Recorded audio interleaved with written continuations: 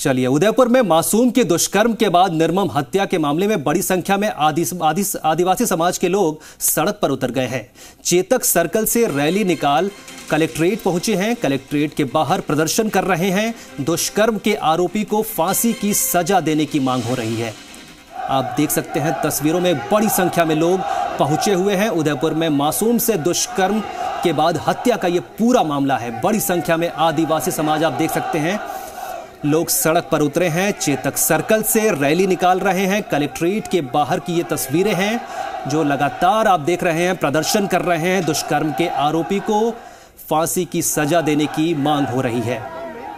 इस पूरी खबर पर ज़्यादा जानकारी के लिए हमारे जी मीडिया सहयोगी अविनाश जगनावत जुड़ रहे हैं। जी बताइए, पूरी खबर के बारे में जानकारी दीजिए अविनाश।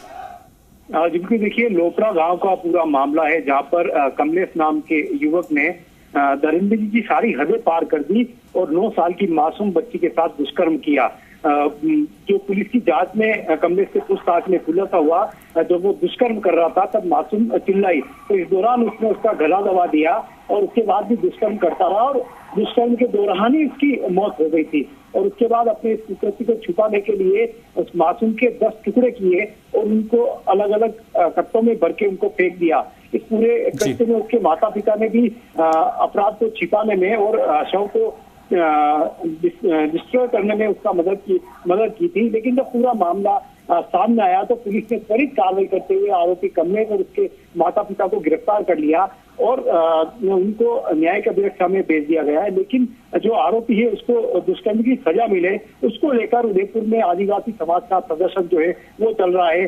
कल मामली खंड कार्यालय के बाहर सैकड़ों की संख्या में आदिवासी समाज के लोगों ने प्रदर्शन किया और आज उदयपुर कलेक्ट्रेट के बाहर पूरे ज़िले के आदिवासी समाज के लोग हैं वो यहाँ पे पहुँचे हैं। दुष्कर्म के आरोपी को सजा मिले जो पीड़ित परिवार है वो बहुत गरीब है ऐसे में उनको आर्थिक सहायता के रूप में सरकार पचास लाख का मुआवजा दे और एक व्यक्ति को सरकारी नौकरी दे। इस मांग को लेकर यहाँ पर प्रदर्शन जो है वो किया जा रहा है। एसपी विकास शर्मा पहले ही बता चुके हैं कि दस दिन के में इस पूरे मामले की जाँच करके न्यायालय के अंदर चार्जशीट पेश की जाएगी और पूरा मामला फास्ट ट्रैक कोर्ट के तर्ज पे चले और जल्द से जल्द आरोपी को कड़ी से कड़ी सजा मिले। उसको लेकर पुलिस जो है वो पूरा अपनी इन्वेस्टिगेशन तो कर रही है। लेकिन लोग जो है वो उनमें चलिए अविनाश आपको रोकना चाहेंगे हमारे साथ एसपी उदयपुर विकास शर्मा जुड़ रहे हैं। जी विकास जी ये बताइए इतने बड़ी संख्या में आदिवासी समाज इकट्ठा हो गया है मासूम से दुष्कर्म की हत्या का ये पूरा मामला है पुलिस प्रशासन इस मामले में क्या कर रही है? देखिए इसमें हमने अक्यूज को अरेस्ट कर लिया है और जल्दी चार्जशीट फ़ाइल करेंगे और इसको लॉजिकल कंक्लूजन तक पहुंचाएँगे एविडेंसेस प्रॉपर इकट्ठे करके। अक्यूज को जेसी करवा दिया गया। तो ये लोग बड़ी संख्या में रैली निकाल रहे हैं प्रदर्शन कर रहे हैं कोई बातचीत करने के लिए इन लोगों के पास नहीं आया अब तक। इन लोगों से कोई बातचीत नहीं हुई लगातार ये लोग प्रदर्शन कर रहे हैं सड़कों पर बैठे हुए हैं। आप सब गलत तरीके से पोर्ट्रे कर रहे हैं। ये लोग अपनी बात करने के लिए आए हैं जो चीज़ें हो चुकी हैं हम इनसे बात कर रहे हैं बात हो रही है। ठीक है ना? जी। जी। जी। तो ये दुष्कर्म जो हुआ है हत्या जो हुई है इस मामले में आरोपी को गिरफ़्तार कब किया जाएगा? गिरफ़्तार आप शायद अपडेटेड नहीं है गिरफ़्तार दो दिन पहले आरोपी हो चुका है। जी। जी। जी शुक्रिया। शुक्रिया आपका। विकास शर्मा एसपी उदयपुर के। हमें जानकारी दे रहे थे कि इस खबर पर अपडेट हमें दे रहे थे कि बड़ी संख्या में लोग पहुँचे हुए हैं उनसे बातचीत हो रही है लगातार इनको मनाने की कोशिश की जा रही है।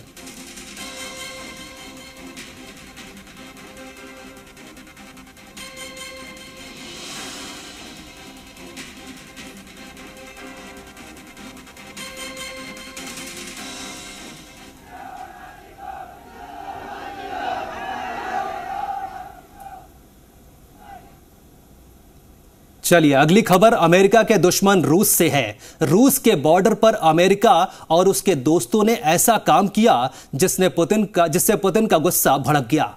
क्या यूक्रेन की तरह एक और वॉर फ्रंट खुलने वाला है? अगली स्पेशल रिपोर्ट में यह देखिए।